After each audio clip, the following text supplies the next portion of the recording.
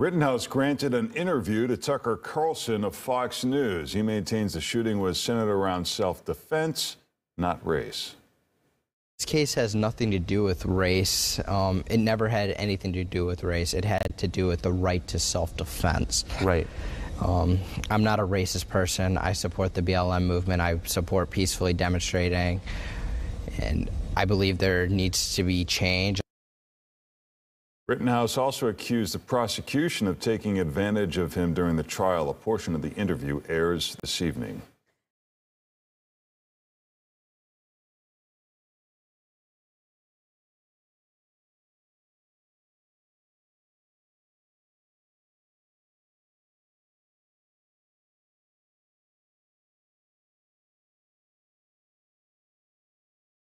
You shut the fuck